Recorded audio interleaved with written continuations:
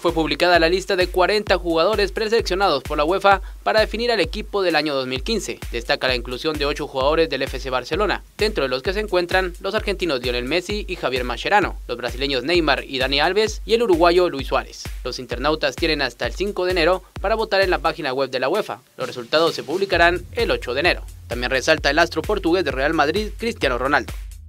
En Francia, el gesto del delantero del Real Madrid, Karim Benzema, que escupió al terminar de sonar la marsellesa el pasado sábado antes del clásico en el Bernabéu, ha provocado una gran polémica en el país galo, donde algunos piden que se le excluya de la selección. Benzema se perdió los dos últimos partidos de su combinado nacional tras haber sido imputado por el caso de presunto chantaje a su compañero Matthew Balbuena.